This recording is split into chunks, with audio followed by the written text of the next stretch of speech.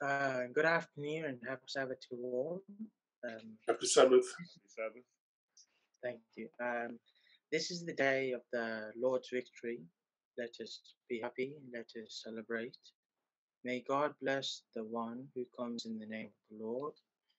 And um, it's Lord, I would like to extend a warm and hearty welcome to all of you. Hope you will all have a blessed Sabbath day and may God bless us all as we ponder on His message from His messenger. Thank you. For opening hymn, we will use Oh How I Love Jesus.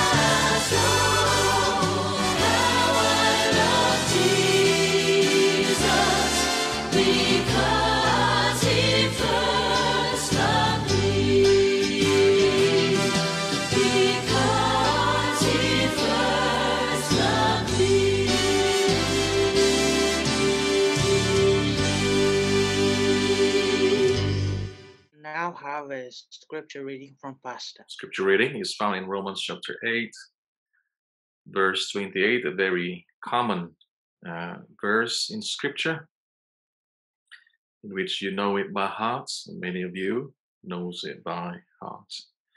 Romans chapter 8, verse 28. And we know that all things work together for good to those who love God, to those who are the called according to his purpose. May the Lord add meaning to his word. It's time to pray. Let's all close our eyes and take a reverent positions where possible. Let's pray. Our most gracious Heavenly Father in heaven, we thank you for the blessings, O Lord, that you have bestowed upon us throughout the past week. Thank you for uh, taking care of us. Thank you for providing us with all sorts of necessities. Thank you for protecting us from all sorts of harms and dangers. Moreover, Father, thank you for the privilege and the opportunity which you have given to us as a family to come to thy presence, to bring honor, glory, and praise unto thy name. O Lord, we come to thy feet with heart full of gratitude, thankfulness, and sincerity. We humble ourselves in front of thee, Father. Have mercy, have mercy, have mercy on us. Especially, Father, we um, thank Thee for the manifold blessings, for the very life. Thank you for the word which you have given to us. Thank you for this blessing on the Sabbath day to discuss Thy word and to learn and to equip ourselves. We pray and remember about our the people who are sick, poor, and needy, O Lord. Take care of them. People who are suffering due to natural disasters, calamities, wars. Take care of them, O Lord. We pray and remember about people who are suffering due to job losses, stress, no food, water, and shelter, especially during this pandemic period. Take care of them, Father. We pray for the church at large. Be with the ministers, pastors, members, and workers, O Lord. Thank you for the commission which you have given to us. Help all of us to be part of that commission. We also pray for the speaker of this hour. Be with him, Father. The things, the message which we are going to hear, help us to be a comfortable message and to inculcate in ourselves, Father. Moreover, Father, we ask Thee for Thy forgiveness from our sins which we are doing knowingly and unknowingly, Father. Have mercy upon us. May the thinking of our thoughts via our mind. And things which we see our via our through our eyes. And the things which we hear or, or listen by our ears. And the words which we speak through our mouth and tongue. And the things which we do our hands and places where we go our legs may bring honor and glory unto thy name may this worship brings glory and honor unto thy name and a blessing upon us. And finally, O Lord, when the Son comes in the clouds of heaven, may we all have a place in the eternal kingdom. As these blessings in the name of our Lord and Savior Jesus Christ. Amen. Children's story will be brought to us by Pastor Dan. Good to see everyone and hope you are well. Well, today I thought I would talk about something the kids have been asking me, and that is why? Why is all of this happening? I thought I would tackle that today. Because right now things really just they don't make a whole lot of sense. Things are changing, things are different. Here's some other things that don't make a whole lot of sense. Here's the first one. Yeah, I don't know about you, but that makes no sense to me. Yeah, none. Not not even a little bit. Nope. Here's something else that doesn't make a lot of sense. Take a look at this. This is the New Testament of the Bible in Greek. In Greek. Yeah, it doesn't make a whole lot of sense. At least not yet. so those things don't make a whole lot of sense either. Just like life right now just does not make a whole lot of sense to many of us. These past weeks, we have been living in a time where we are looking to God and going, Lord, you up there? Lord, Lord, do you see what's happening down here? Look, look. None of this makes sense. Why do we have to go through all of this? When will this end? Why do bad things happen to good people? Does not make sense. Unfortunately, bad things happen to good people, to all people. They happen to everyone. Even Jesus himself in John said, You will have suffering in this world. He said it himself. I bet you can think of something that hasn't gone according to plan, can you? Take a second, see if you can think of something that, that didn't go so well. Yeah, I can think of many. I can think of many times where things were really hard and that we really suffered. But why? Why do we go through all of this? Well, my short answer is we live in a broken world full of sin. Broken world full of sin. But there is some really good news. In Romans 8:28 it says that in all things God works for the good of those who love him. One of my favorite verses of all time. Let me read it again. Romans 8:28 says, "In all things God works for the good of those who love him." It doesn't say in the good times God works for the good of those who love him. It says in all times. In the bad times, the really tough times, the times where we cry and we scream and we say, God, why? He is working for our good, even in those times. But what does that really mean? Here, let me show you. So I want you to pretend you're this beautiful piece of paper. Here you are. Here you are. Orange piece of paper. Hmm, beautiful. Everything's going great. There's so much potential here. You could be anything. You could be anything. But then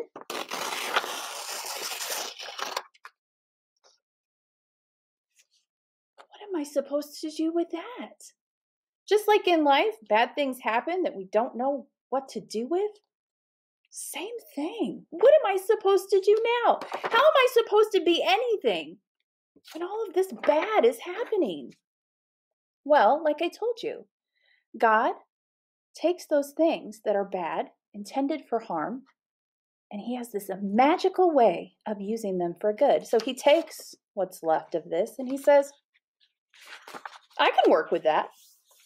I can work with that. And so He starts His work in us. When we accept Jesus into our hearts and into our lives, He says, I can work with that. And He starts work in us if we allow Him to. That is the key. He starts this work in us. And over time, as He continues this work in us, and He takes us down these different paths, we stop along the way and we go, Lord, what are you doing here? I don't know where you're going with this. But we trust Him and we keep on going. And He takes those things that are supposed to break us, are supposed to tear us down, and He uses them to give us things like perseverance and endurance and all these wonderful traits that make us into even better people that look a little bit more like Jesus. And then over time, as He continues to work in us,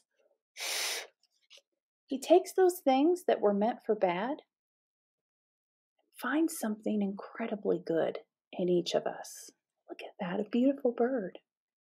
He takes things that were meant for harm and he finds the good. He works for the good of those who love him. So if we allow him, Jesus will take us and shape us and guide us, even through those really rough times. And look, he finds the beauty. All right, before we go, let's bow our heads for a moment of prayer. Dearest Heavenly Father, we are so grateful for the time to be together. And Lord, please protect each and every one of us as we go through this coronavirus pandemic, Lord. May we be healthy and may we be your hands and feet amidst all of this. We ask this in your name and for your sake. Amen. Jesus loves me,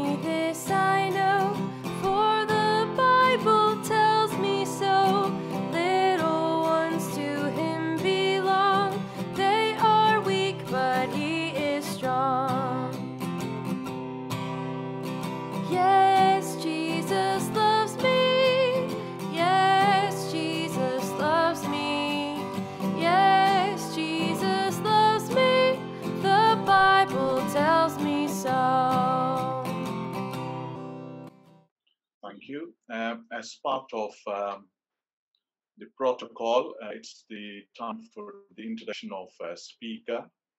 I think we all very well know uh, Pastor Dan. Um, uh, personally, uh, I think on a personal perspective, um, I have um, acquaintance or know Pastor Dan for the past eight to nine years. When I initially came to UK and when I was attending my very first church uh, at West Bromwich, um, I think uh, the time Renilda was born, she was year one year.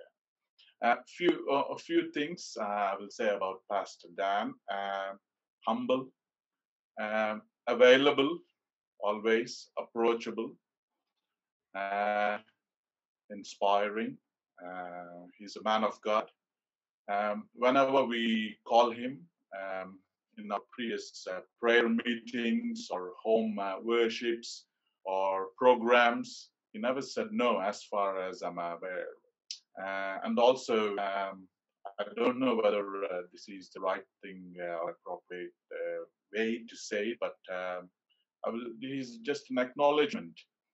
As a as Pastor Dan also came from overseas, uh, he has done a great job in his ministry in and around West Midlands.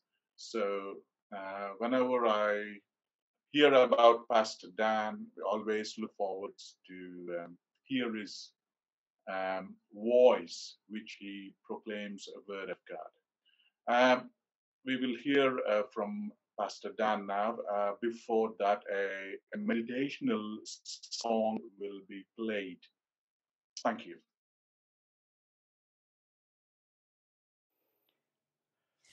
Take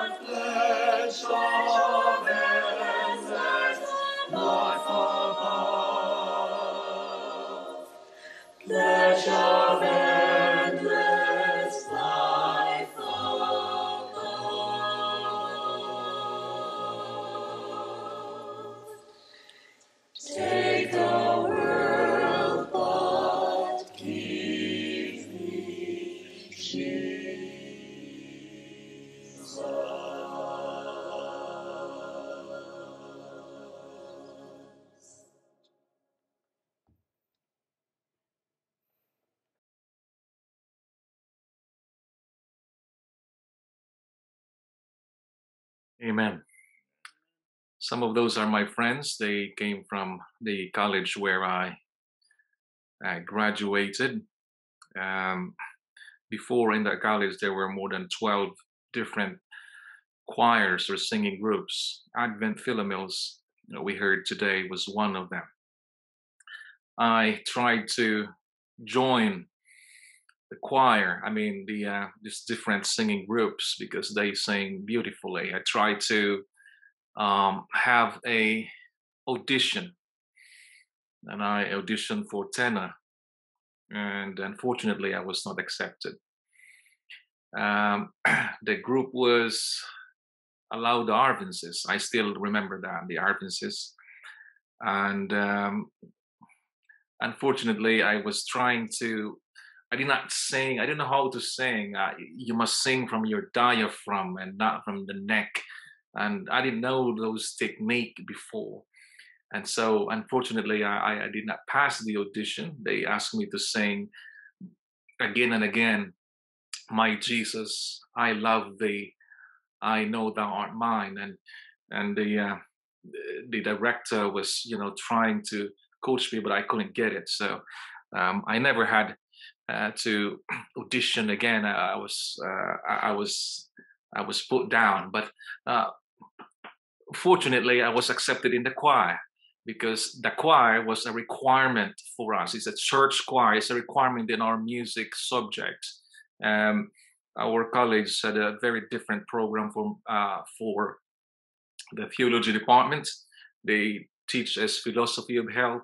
They teach us anatomy and physiology, all these other things, because uh, including music as well, that we have to uh, know how to compose or whatever, and we have to join the choir. And so I was accepted in the choir because it was part of the requirements. And I was singing in the church choir along with others. But um, uh, it's nice to see my old friends. Uh, they're all over the world now, but they just put together that song in a cappella. So there is no slap in YouTube for that. So um, I would like to thank uh, Brother Rakesh who uh, introduced me so kindly uh, but generously. Let us have a word of prayer before we begin. Our Heavenly Father, we are going to study your word at this time. We pray that even though this is a very common text or passage of scripture, that we will still open our eyes and see in a different view uh, your word for us today so we may learn something. Romans 8:28 says, "And we know that all things work together for good to them that love God, to them who are the called according to his purpose." I do not have to tell you that Romans 8:28 is one of the most beloved verses in scripture. You know that. And many of you give testimonies to that fact. You were ill and this verse was like a medicine to your soul you lost a loved one, and these words somehow carried you through with the hope.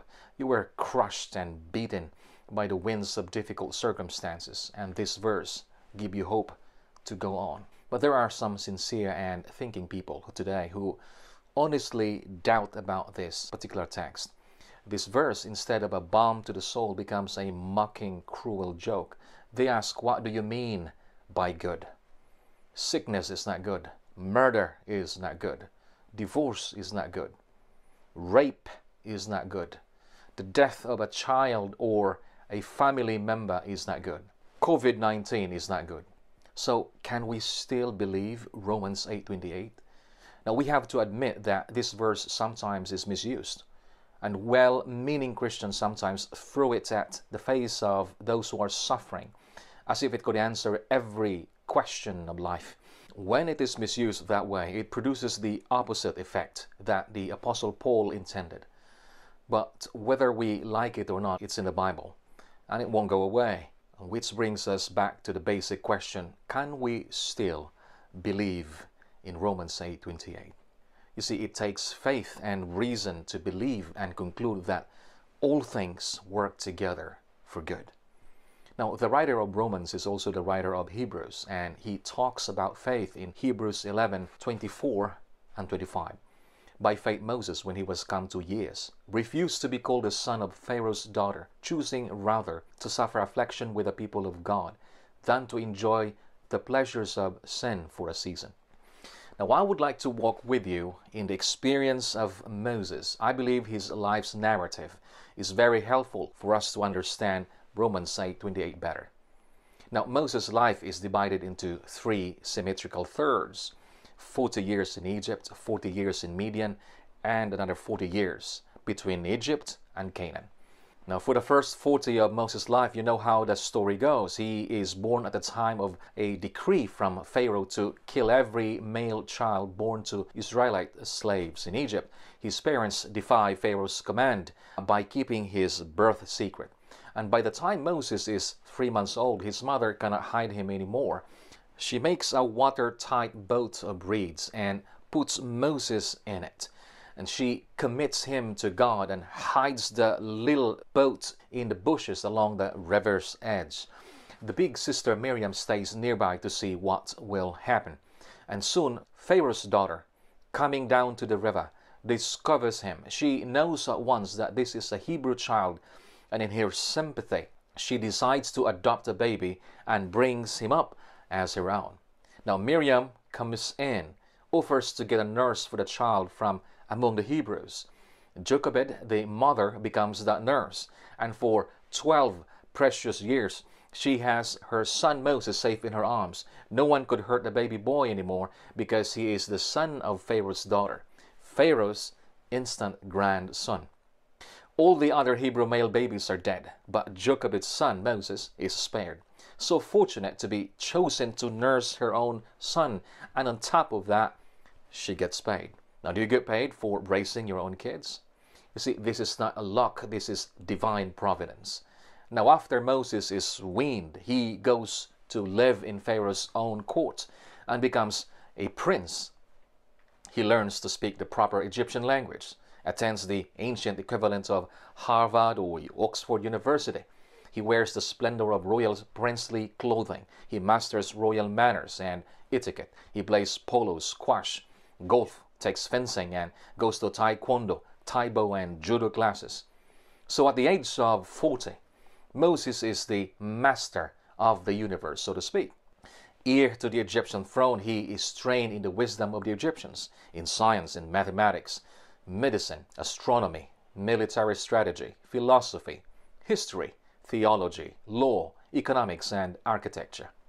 Moses was fitted to take preeminence among the great of the earth, to shine in the courts of its most glorious kingdom, and to sway the scepter of its power. His intellectual greatness distinguishes him above the great men of all ages. As historian, poet, philosopher, general of armies, and legislator, he stands without peer. So all Moses has to do in Egypt is to mind his pleases and thank yous to Pharaoh and to other court officials, and he will live a life of aristocratic ease. But then, then he goes on and does a terrible thing. And that finished his 40 years in Egypt. Because as he looks around where some Hebrew slaves are laying bricks for the latest addition to Pharaoh's already elaborate mansion, he sees an Egyptian overlord choking and shaking a Hebrew slave and lashing the man. Moses' blood pressure goes up. He cannot take what he sees. He looks both ways to make sure the horizon is clear, and then he unleashes his deadly martial arts attack to the Egyptian overlord and kills him on the spot. Now, the story of his first 40 years is few in words but fat with detail. It doesn't tell us what Moses thinks or feels, just what Moses does. We learn that he is masculine and macho and unafraid. We learn that he might be a little impulsive and that his motto might be ready, fire, aim. And we are reminded that he is black belt in many martial arts discipline. And we learn that he has a natural, deeply felt sense of fair play, that he aches for justice, that he has a large heart for the underdog, that as far as Moses is concerned, blood is thicker than water and would rather be a slave among the Hebrews than a prince among the Egyptians. And so we now discover that Moses never forgets his mother's teaching. He is an Israelite, not an Egyptian, and never becomes brainwashed by the Egyptian educational system. He never forgets his true background and the one true God. That is what the text in Hebrews is telling us because we read by faith Moses, when he was come to years, refused to be called the son of Pharaoh's daughter, choosing rather to suffer affliction with the people of God than to enjoy the pleasures of sin for a season. But may I ask the question here? Is it God's plan that Moses explodes into anger and kills the Egyptian taskmaster in no time? Remember Joseph in Egypt. You see, God placed Joseph into a leadership position in Egypt so he could save Jacob and all his family from drought and from famine. Was it God who put hatred and jealousy into the hearts of Joseph's brothers? Now, was it God's plan that they sold him to become a slave in Egypt? Not at all. You see, people are bent to do evil anyway, as free moral beings. But here's the point God can work out something good out of something bad.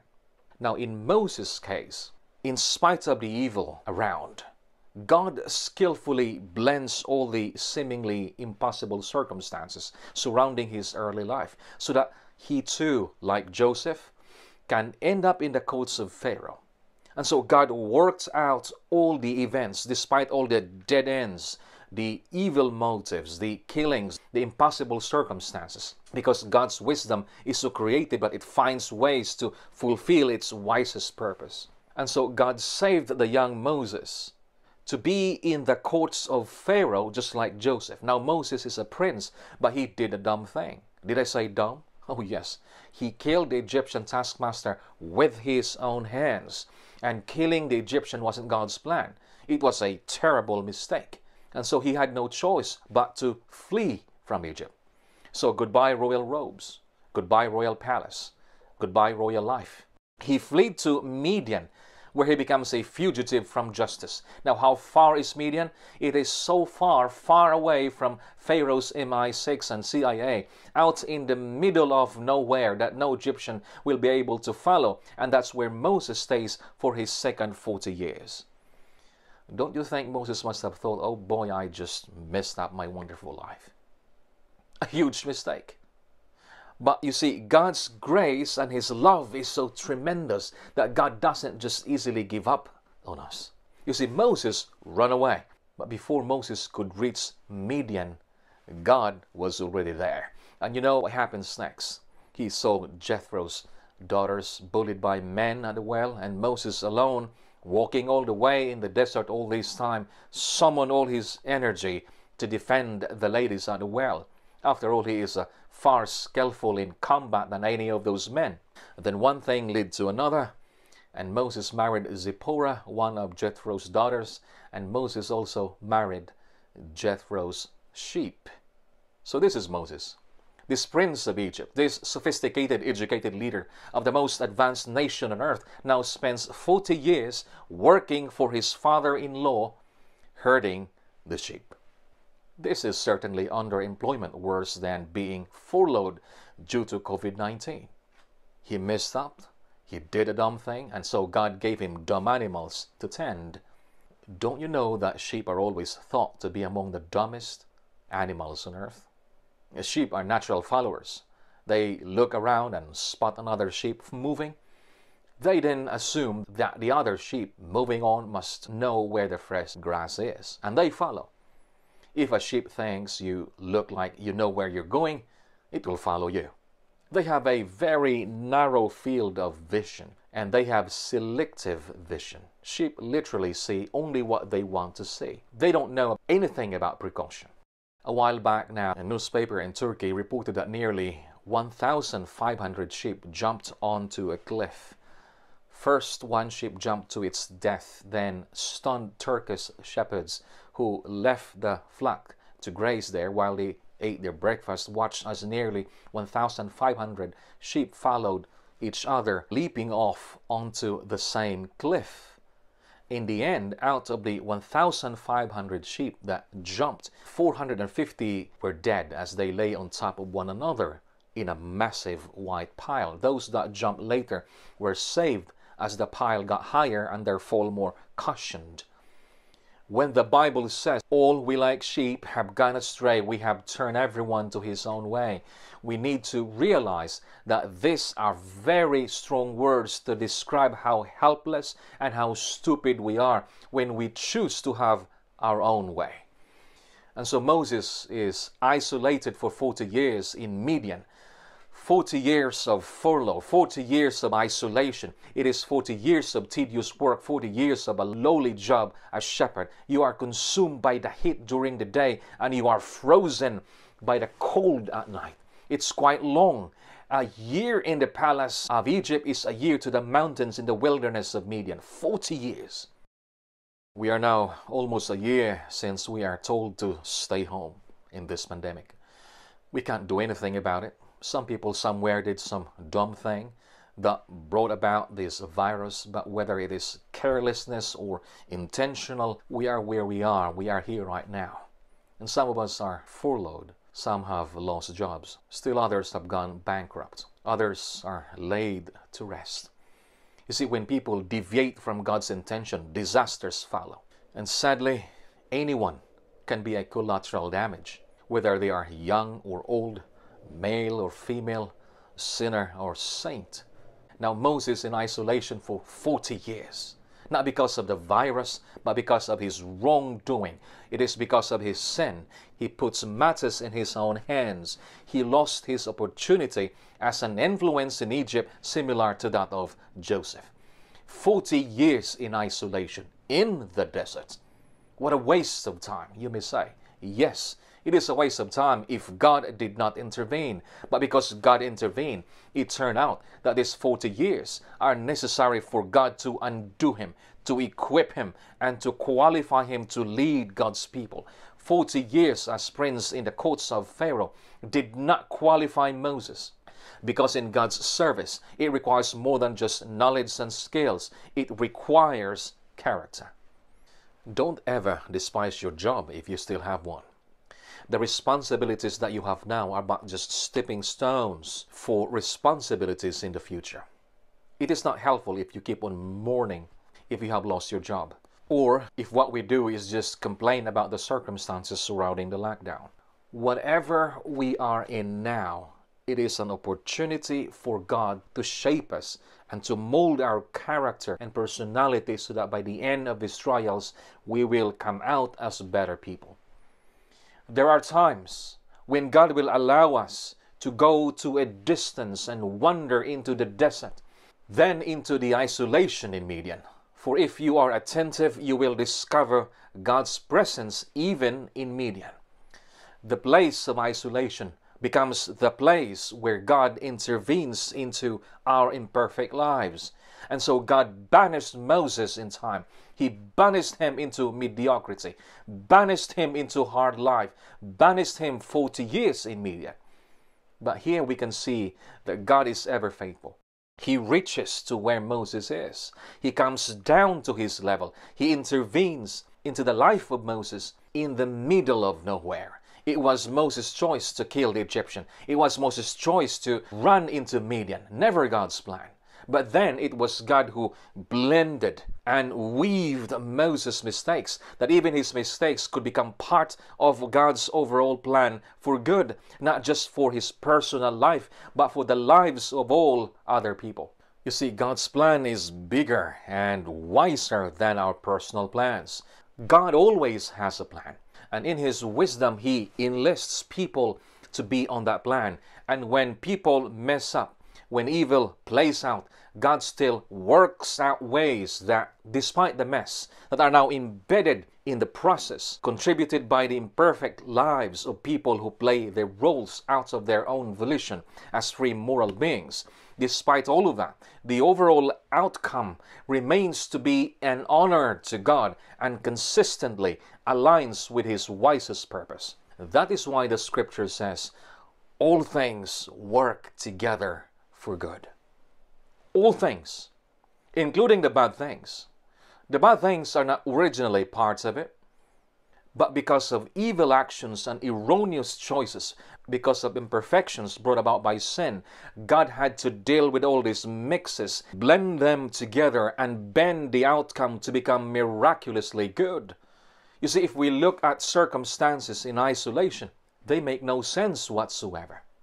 But when Paul says, For we know that all things work together for good, that phrase there, work together, two words in English, is actually only one word in Greek, and that is the word sonergon.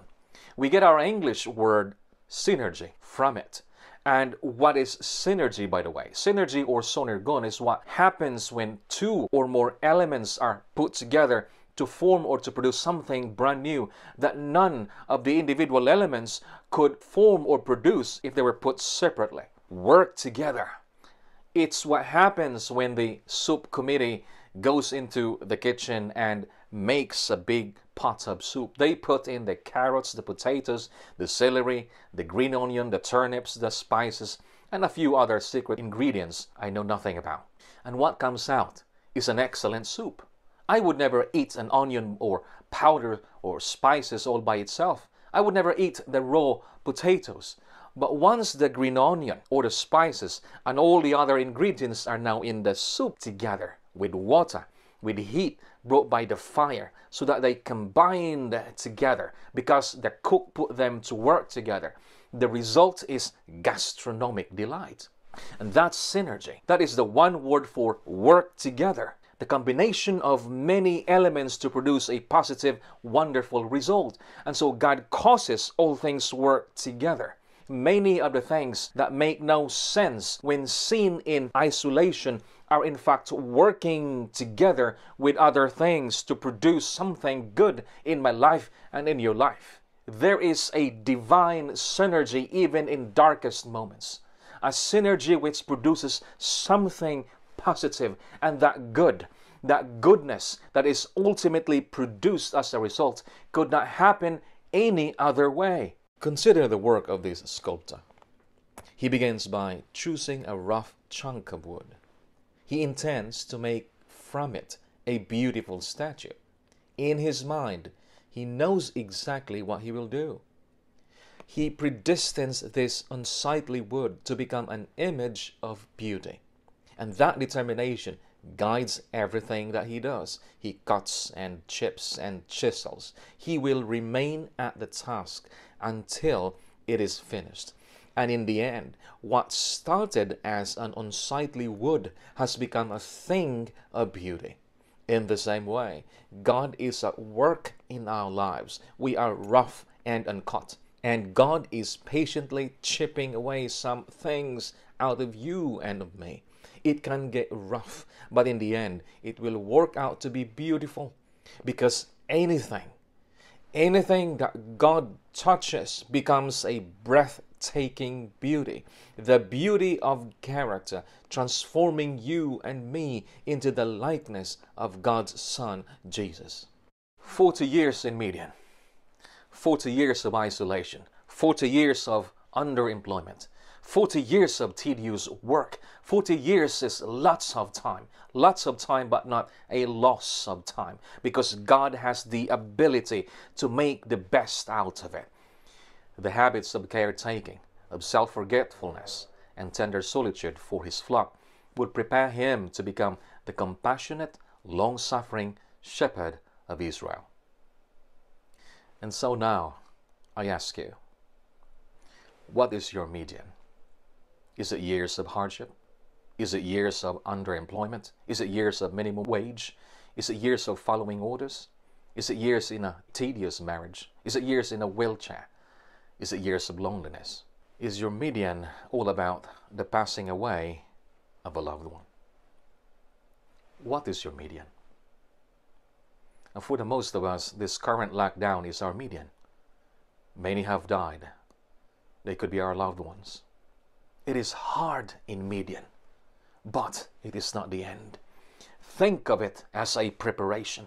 Think of it as a refining process because God is preparing us of whatever is next. Because God, with God, there is always something next. Because God can turn the backside of the deserts and wilderness of Midian into a garden of productive spiritual retreat where we can grow and mature and flourish. You see, it was there in Midian that Moses' pride and self sufficiency were swept away. He became patient, he became reverent and humble. It was there in Midian, under the inspiration of the Holy Spirit, that he wrote the book of Genesis, and it is believed the book of Job.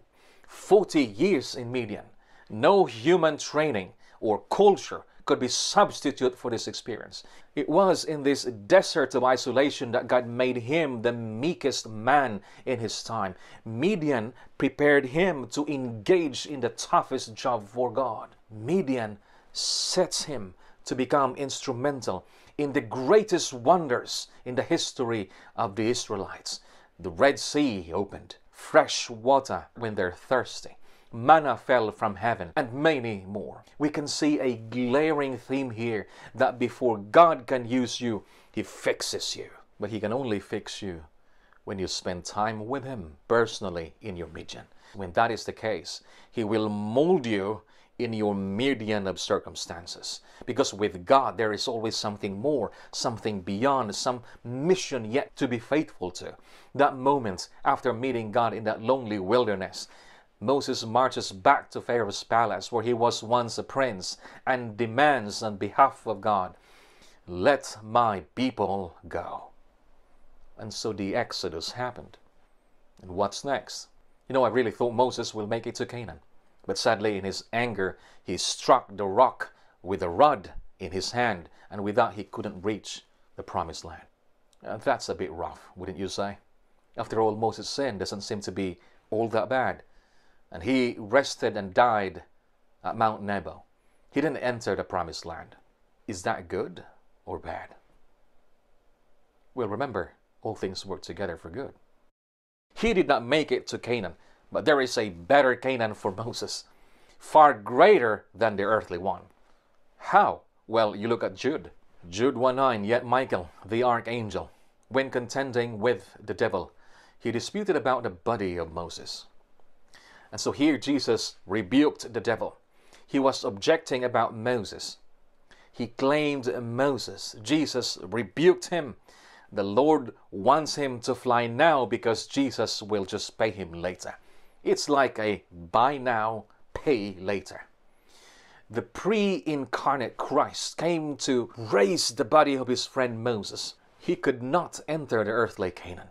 Moses pleaded and pleaded before he died, pleaded Sovereign Lord, let me go over and see the good land beyond the Jordan, that fine hill country and Lebanon. The Lord's reply did not speak to me any more about this matter.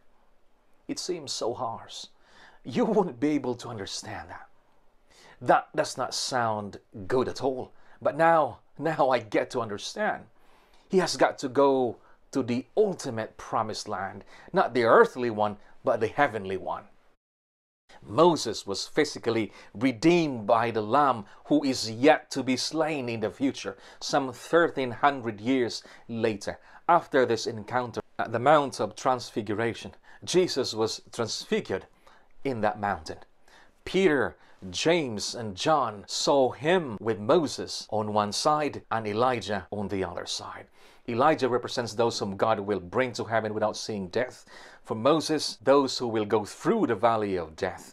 But most of all, it was Elijah and Moses, both of them, that Christ needed because only them, not the angels, understood with experience how to walk with God in faith and how to shepherd God's flock, unruly flock. Christ Jesus, who needs to save humanity, needs to incarnate, and by that word, he needs to become human too. Christ's humanity, to save the lost humanity, needed some affirmation from two human beings, and Moses is one of them.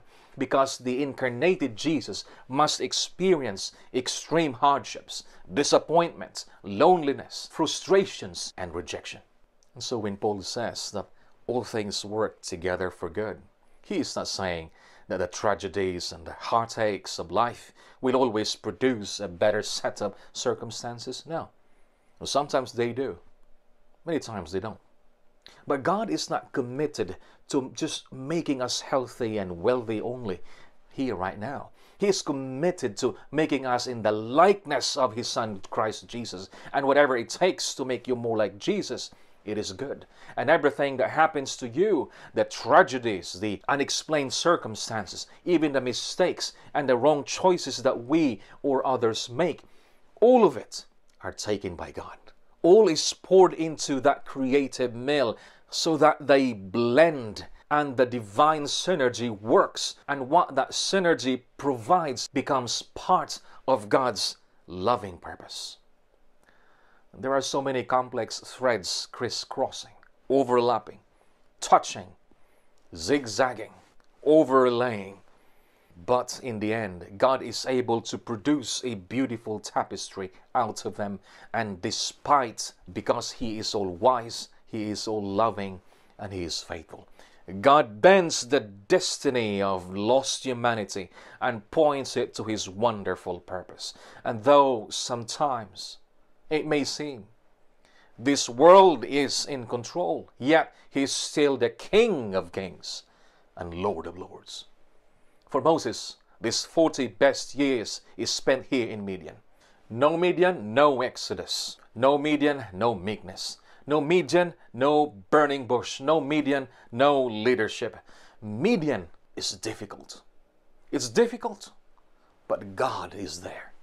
And God wants to meet you there. God wants you to meet Him in your Midian of difficulties. Because if you see Him there, it is sure that He will go with you all the way to something brighter, far greater, and far grander than you have imagined. All things work together for good. To them that love God, to them who are the called, according to His purpose. God bless you.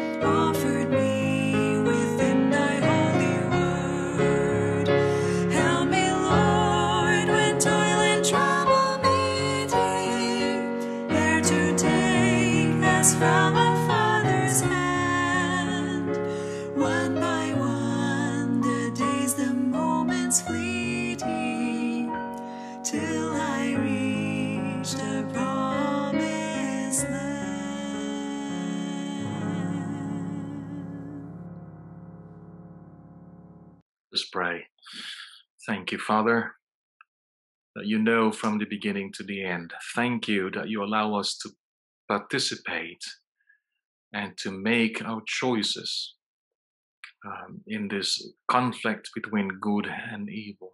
We pray, Lord, that we will continue to choose on the side of Jesus.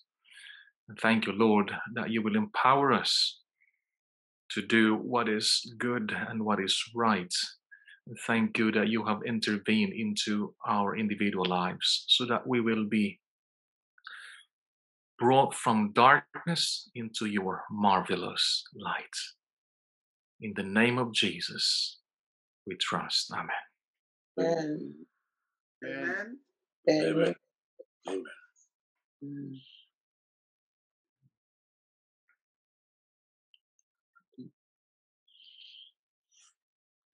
Thank you, Pastor, very much for the message. Thank you for encouraging us to re- recognize that God is there in our lives, whether it's good or bad, whether we are achieving what we have set out to do or whether we have, we have not achieved it yet. You know, but whatever the case is, God is with us.